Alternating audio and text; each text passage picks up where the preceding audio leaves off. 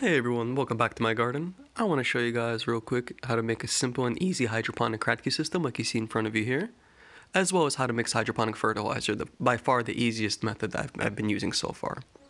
So we're going to need a couple of ingredients. First, we want to use a half gallon size mason jar.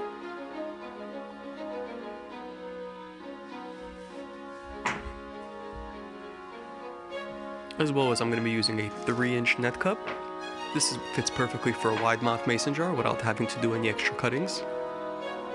Some clay pebbles, also called hydroton. And your little seedling. I'm going to be using a tomato plant for this example. This is a Minibel tomato. And it's going to be similar to what you see the systems in front of you right there. So I'm going to be using a mixture of Master Blend calcium nitrate and Epsom salt I purchased this on Amazon recently. I found a new seller who was actually a lot cheaper than the original guy that I was buying from. So I'll post the link in the description bar down below for, so you guys could check it out in case you you need some, some fertilizer. Don't do what I did. Don't wait till the last minute to get some fertilizer and then you gotta wait three weeks to receive it in the mail now. So this is the formula and ratio that I'm gonna be using per gallon. And so I'm gonna take basically my seedling and I wanna um, prop my fingers around the base of the plant. This way I hold it nice and steady and what I'm gonna do is basically just pinch it from the sides while squeezing it and loosening up the coco coir. And this will allow me to basically take the plant out of its container here. This is a two and a half ounce cup.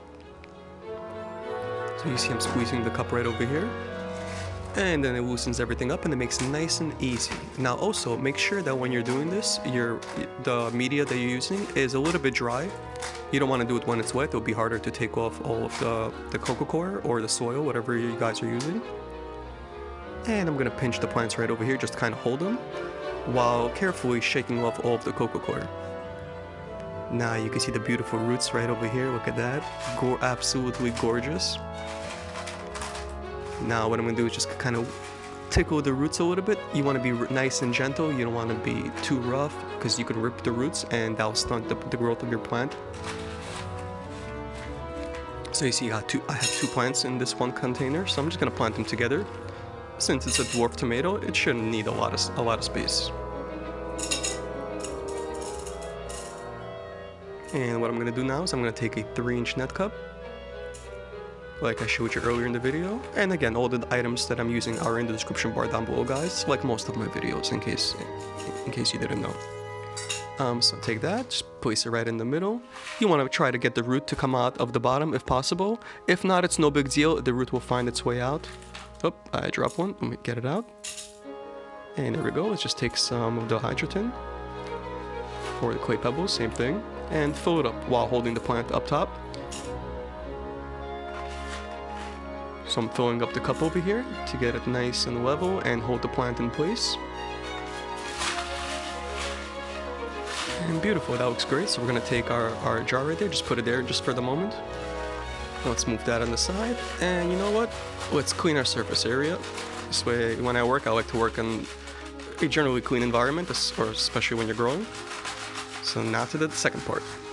We're gonna take our scale here um, the scale that you're going to be using, it doesn't matter which one you use, guys. That's why I didn't put a link for the scale, as long as it measures in grams. And if you want to go to the 10th or the 100th power, it's up to you. As long as you can measure out your fertilizer. So I'm just going to take a cup right there, make sure you zero out the weight. And then take Master Blend, 2 grams right there. We're going to be also using calcium nitrate as well, 2 grams.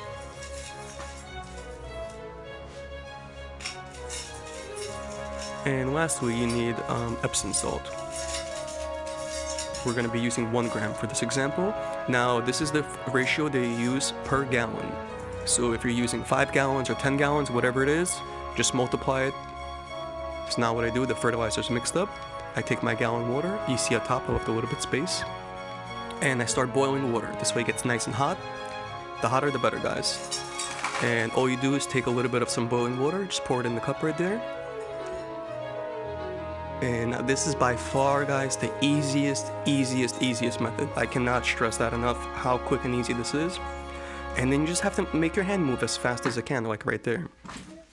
Well, no, you could, you, you don't need to fast forward while you're spinning it. I'm just gonna finish mixing that, so that's almost done. It takes about a minute or so. Just to make sure everything is mixed in clearly. So originally when you're mixing your fertilizer, you normally would just pour it into the container like so, and you would aggressively shake the thing for like 10 minutes, 15 minutes, and you would still see particles and residue. And um, the, the residue kind of spinning throughout the water, especially the Epsom salts. Those things take a long time to melt for some reason. So with this method, as you see I mixed it up, everything completely dissolved, less than a minute. I poured it in this container, shook it up for another 30 seconds or so, completely, completely mixed in evenly. Now I'm gonna use my ppm meter, and we're gonna give it a test to see how much, um, what the ppm level is in here. So it looks like, let me try to squeeze that in there.